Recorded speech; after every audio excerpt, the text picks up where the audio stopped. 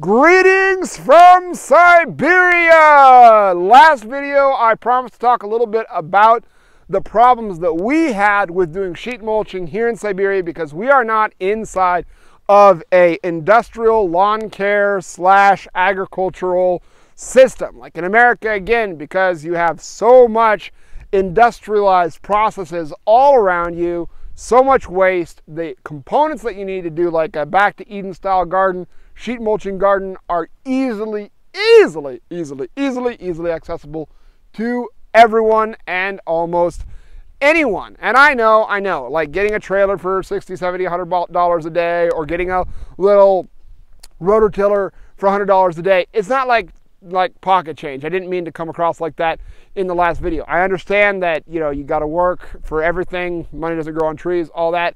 But it's just the amount of of, of ease that it affords you when you have those options. Okay, so moving on. Uh, in our situation here, we couldn't find the amount of cardboard we need. There were no wood chips just laying around willing to be picked up by anybody who had a pickup or a trailer or like a lot of my friends in the states talk about delivered to them um, or you know lawn clippings just laying in gargantuan mounds all around anywhere you want just go pick them up and use them like here not quite so easily had um, even old hay, people are using it for different things, so it's kind of hard to come by. So with the farm here, thankfully, with 60 goats, 50 sheep, four horses, and all the other animals that we have, we have a lot of bedding and a lot of manure. So what that means is we make compost, compost, compost, compost. And now here, this is our fourth summer, fourth summer, uh, 17, 18, yeah, fourth summer here on the farm. So our whole system is now really, really working. I've got two giant manure piles up the hill uh, that I'm not going to show you. And then down the hill, along the side of the hill here, I've got 10 already formed compost piles heading towards the garden. And now what will happen is I will start flipping those compost piles every two to three weeks or so. Um, you can actually do it quite a bit faster than that. It's just I don't have the time. But you know, once a month, twice a month, we're flipping the the compost piles down the hill, and so they're marching towards the garden. And uh, a compost like this done properly, you need to flip it three or four times before it's actually, you know, you can just mix it into the soil. It becomes really like humus and it's wonderful. But we found that you can use compost that's been that's been flipped twice as a as a ground cover pretty well. It still has a lot of its structure. It's still a lot of the hay that was inside has a lot of structure still. It's not completely broken down and it can go to ground cover. In my previous video, you might have seen that some of the beds looked like they were naked. Mother Earth is a modest woman. She wants to be covered. And, of course, that's an unfortunate thing. Um, but actually, those, those grow beds were, uh, those garden beds were covered last year. And, and the, the, the mulch, because it's not exactly traditional mulch, it really just gets eat up by the garden. The garden absorbs it into the dirt so fast. It's amazing. So this year we're going to put a, a lot larger of a layer in the spring and then go back in the fall and put another layer of compost. Not compost exactly, right? So it's it's not quite broken down all the way to the end. It's kind of mid broke down compost, but but it's already not hot. So put that on the garden and that will be our ground cover. And in the hallways in the garden, again, last video that saw it, we are actually putting down just hay. Now, why don't I just use old hay as mulch? Now you can do that.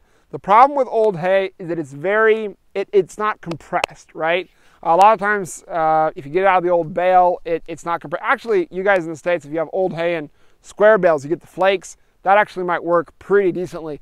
But with us, the big round bales, you get them, you unroll it, it actually ends up being kind of loose. And what happens is, is you put it over the bed, and some of my uh, subscribers in the, in the Russian YouTube channel have been reporting that they get ants, they get all kinds of slugs, all kinds of different things living under that, that mulch and then eating at their plants, and it's just a mess.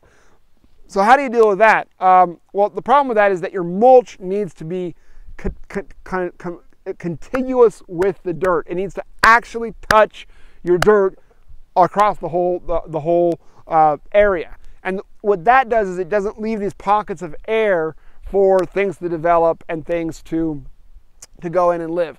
Um, so so I'm not saying that ants wouldn't go under a layer of mulch or couldn't, but most likely won't unless they've got these big gaping holes, the like gateways going into your your mulch. You know, you think of it from the ants' perspective. If they have to dig through, you know, a pretty solid layer of mulch that's that's um, contiguous with the dirt, it's not that that inviting. So same thing with slugs and, and different things that you, you get in the garden. So uh, that's how we make our situation here. Uh, how is that applicable to you? Well, it's not really applicable to you other than the fact that everyone should have a compost. If you do a garden, start with a compost pile, like literally. Maybe you don't want to do a garden this year. Maybe you're like, oh, a garden would be great, but it's late. It's already, you know, mid-May.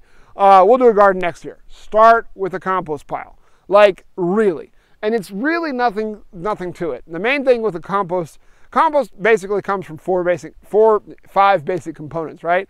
So the five basic components of any good composting is a balance between your greens and your browns. So your carbon uh, rich material and your nitrogen rich material, your browns being carbon rich, your greens being nitrogen rich, a balance between those.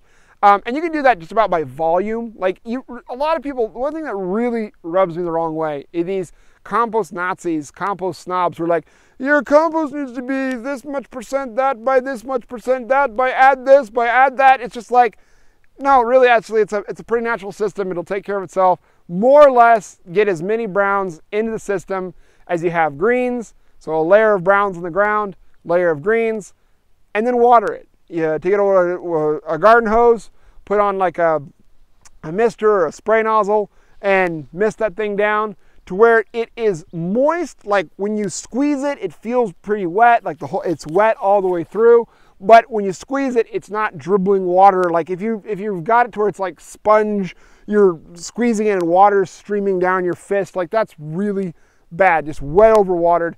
You want it to be moist but not drenched, right? So once you got it moist, then you go for another layer of browns, another layer of greens, another layer of browns, another layer of greens. These compost piles are a little bit small.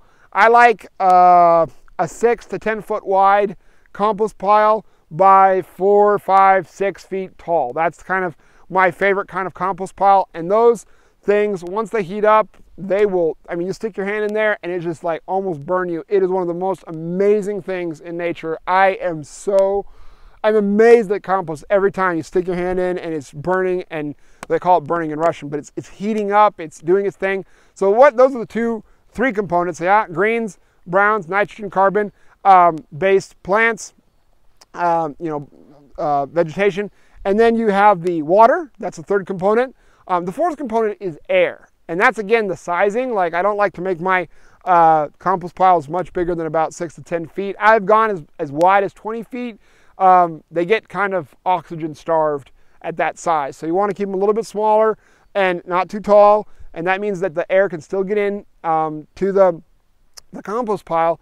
And, uh, and that's why you need to flip it, right? So it, it works, it eats up some most of the air, it kind of settles, flip it, reactivates the compost. Spray it down, reactivates the compost. That's the four components, uh, nitrogen, carbon, air, and water, water and air. And the fifth, of course, is the thing that makes the whole thing work, and that's uh, the bacteria. The bacteria are already present, uh, usually, and by setting up the compost in this particular uh, situation allows for a uh, a good environment that will allow those bacteria to really produce. And it's actually the heat that you feel is the body action of the bacteria. And just the thought that these little tiny invisible things that you can't see are causing all this heat, like literally sometimes you can't even put your hand in there, it's so hot. Um, I did you know experiments in my previous farm where you're actually pulling heat out of those compost piles uh, using like a Jean Pain system. We don't do that here. Haven't done that yet. Maybe we'll get back to that, but that's a different video, a different topic. But it's just so amazing. Like, and then you take this stuff that's like waste, right? Like bedding, manure, or just like leaves, grass clippings, stuff that's just waste, and you turn it into this beautiful humus um, that can then go into the dirt and be mixed in with your with your bedding soil and can just just make things beautiful. The way we like to do it with the with the uh, garden is like I said, we, we don't get it down to like completely broken down. We're just adding kind of halfway broken down compost to the top layers and then it and then it slowly decomposes and feeds the soil every time you water over time. And that uh, kind of this natural system for um, feeding your soil. The main thing about gardening that you really have to remember is, is a good gardener starts by, by not trying to grow good plants. A good gardener tries to build soils. And the sheet mulching system is so cool because it's got that kind of built into the system. So if you start a compost pile and you've already and you put in your sheet mulch, then what do you do with the compost? Well, you can add once you've once it's broken down, once you've flipped it three or four times, you can you can you can take that and add it a little bit around the plants so that whenever you water it feeds it just from the top and it will slowly drain down through the, the top sheet mulch. Um, or you can get make a compost tea and we'll talk about that later using compost to water it with water. Um, but there, there's, there's no amount of, of really good humus compost that you have um, in, a, in a garden that you can't use. Like it's so applicable everywhere, and that's really a cool thing to do. So absolutely do that. Now I know that not everyone has you know 240 acres or a big property out in the middle of nowhere where you can just set up 10 compost piles along the side of your garden and not have a problem with it. Most of you, a lot of people are going to be in like suburban semi-urban sort of neighborhoods. And one of the best ways that you can do that is that set up a, a compost bin. And there's, there's all kinds of photos of this on Google. Maybe I'll put a photo in this video too of um, these like three section bins that are made out of, you can make them out of just wood or they make them out of pallets that have got like slat doors on the front. And you fill up the first bin uh, with compost, uh, with, you know, with your, with your layers, layer cake it. And then once it's full, then you take a pitchfork, flip it over into the second bin and start filling up the first bin again. And then once the first bin is again full, then you take the second bin, flip it into the third bin, take the first bin, flip it into the second bin, begin to fill the first bin first. When it's full again, you take the third bin, flip it outside into a wheelbarrow, flip the um, the second bin into the third bin, first bin into the second bin. You get the idea, right? Fill that one up. And basically, you have a system that's set up for taking care of any kind of waste that you might have around the house, around the place um, and feeding that garden.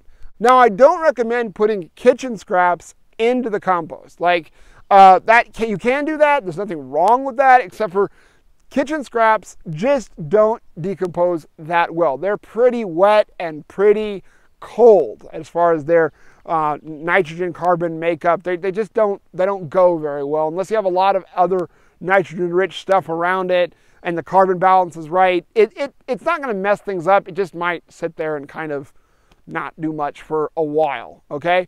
So the main thing if you're doing kitchen scraps or manure is having that carbon-based something that you can put on top. Or even like grass clippings, they're great because you can put that on top and then it kills any smells and makes it really nice. So that's one thing to do. But the best way to use kitchen scraps is to get chickens. Chickens are the ultimate devourer of all things kitchen scraps and they actually are really good like just just a good foundational pillar foundational stone for for setting up food security in your backyard so i'm a real big believer in chickens i'm a real believer in meat and i'm a real believer in milk and if you had to give me a choice of what to start with like start with the garden or start with a little chicken coop slash goat shed kind of combo thing of course just from the calories and from the time and, energy inputs um, time and energy inputs compared to the calorie output, you're way ahead to go with animal husbandry before you even start the garden. I'm not saying that you should do that. I'm just saying that that is